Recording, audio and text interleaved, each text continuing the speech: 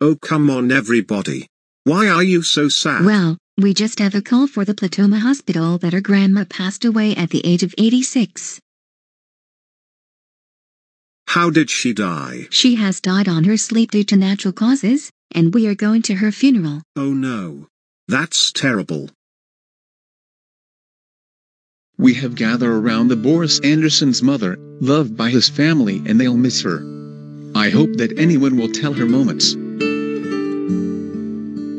I was a parent with this woman. She was so generic to all of us. I still remember the day when Caillou was born, including Rosie, and she helped us. I was a daughter of this woman. She helped to give me birth to my little kids. But sadly, she is gone. Rest in peace, mother. I was a grandson with this woman. Grandma helped me making pizza and cookies. When I was five years old, for my birthday, she gave me a present. A 1994 PlayStation console.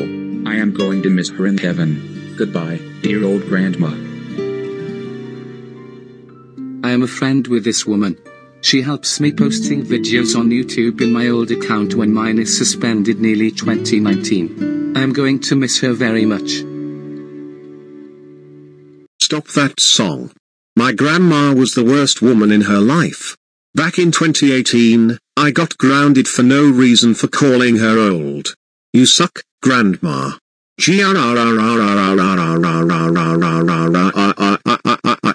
Classic Caillou. That was the worst message to my mother. How dare you do that? That is so freaking it. You are grounded for the next 3 2 8 9 4 3 2 7 8 1 4 6 4 3 6 2 3 6 4 3 6 4 3 2 6 2 4 3 8 4 2 3 9 4 3 2 7 6 years. When we get home, I am throwing you to bed until you got blood and the bones are showed up.